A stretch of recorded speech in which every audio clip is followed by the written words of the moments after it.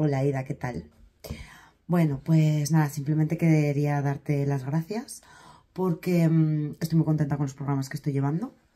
Eh, tuve un programa inicial que duró tres meses, en el cual me sirvió sobre todo para sentar la continuidad de hacer ejercicio, ¿vale? Eh, mi situación anterior, em, bueno, pues era, me imagino que muchas se sentirán identificadas, pero mi situación anterior era, mm, eh, yo durante muchos años de mi vida he estado como dando, eh, dando tumbos, ¿vale? Picoteando un poco en el tema del deporte. Eh, pues a lo mejor un año me apuntaba a TRX, al año siguiente de repente no hacía nada, luego me apunté una temporada a un gimnasio que había aquí que duró unos meses, luego vino la pandemia, eh, cerraron, me pegué un montón de tiempo sin hacer nada, o en casa hacía, intentaba hacer algo de bicicleta estática, cosas así, pero al final nada continuo, eh, a temporadas, eh, bueno, de aquellas maneras. Entonces, bueno, luego llegó un punto en el que yo ya fui mamá y ya desde entonces ya fue todo peor, porque ya entre que da salud, te quedas embarazada, eh, da salud, luego te viene el posparto, eh, tu vida aún se vuelve más complicada porque tienes menos tiempo. Entonces, pues me pegué alrededor de un año y medio aproximadamente sin hacer absolutamente nada de deporte. Eh, alguna vez caminar o algo de bicicleta, pero días muy sueltos, muy sueltos. Entonces, bueno, llegó un día que todo me hizo clac en la cabeza y dije que yo así no podía seguir, que tenía que empezar a hacer deporte. Por mí y por mi salud, básicamente. Em, entonces, eh, un día viendo redes sociales, de repente apareciste, ¿vale? Y, mm, y, no sé, me diste muy buena sensación. La verdad es que no te conocía, eh, me saltaste como algo de publicidad y no sé, me diste buena sensación, buenas vibras, lo que nadie me había dado. Entonces comencé a seguirte y ahí al raíz de ir viendo vídeos y vídeos y vídeos, pues bueno, mm, decidí empezar contigo el plan de entrenamiento de tres meses. Al principio se me hizo duro. De hecho, la primera semana pensé que no iba a aguantar. Memoria de agujetas, era un sobón. Eh, bueno, ese me hizo muy duro. Pero conforme iban pasando los días, cada vez me encontraba mejor. Y mejor, y mejor, y mejor. Y al final, a día de hoy, tengo una situación en la que si no entreno algún día suelto, me siento mal.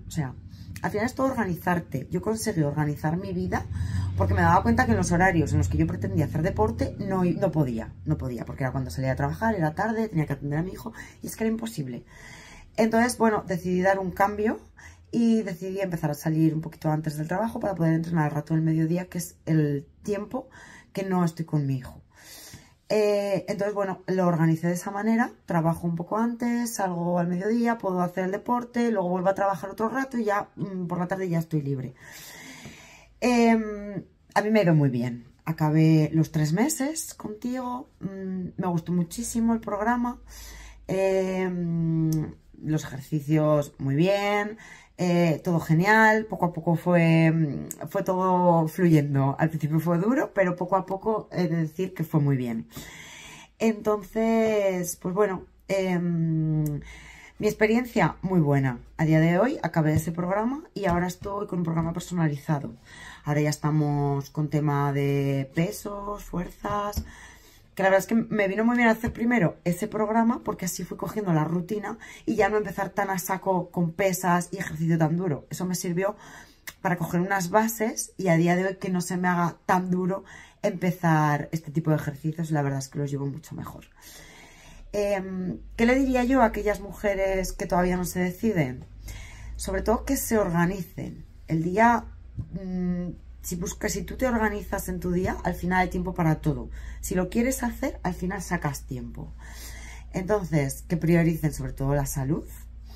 Y eh, algo muy importante es lo bien que te sientes. Yo a día de hoy es que me siento muy bien, pero hasta para cosas básicas del día a día, como puede ser, eh, no sé, cargar compras, coger pesos de otro tipo que antes te afogabas más, es que me siento súper ligera. Es que me siento súper bien, me siento como con más fuerza, más energía me siento muy bien. Entonces, eh, ya no es eh, por verte bien físicamente, que obviamente es muy importante, em, sino también por lo bien que te hace sentir hacer deporte. Entonces, bueno, yo, aquellas mujeres que todavía no se deciden, mi consejo, organizaros, sacar tiempo para vosotras, que al final es una hora al día, nada más. Y si hay a lo mejor algún día que no podéis hacer, yo sé algún día que por lo que sea se me cruza y no puedo hacer, pues si entreno de lunes a viernes o de lunes a jueves, eh, pues intento el fin de semana sacar un rato para recuperar ese día que no he podido entrenar por alguna causa. Entonces, bueno, al final es organizarte, es concienciarte y que esto sea parte de tu vida, es incorporarlo de alguna manera, que no sea algo temporal. Yo ahora mi cambio no quiero que sea para un tiempo y luego dejarlo, no, yo lo quiero tener ya incorporado si un día no puedo, pues no pasa nada. Entreno el fin de semana, saco otro rato y si una semana tengo que entrenar un día menos, no pasa nada. La que viene entrenaré más y mejor. Así que bueno, esta es mi experiencia y espero que os sirva a todas.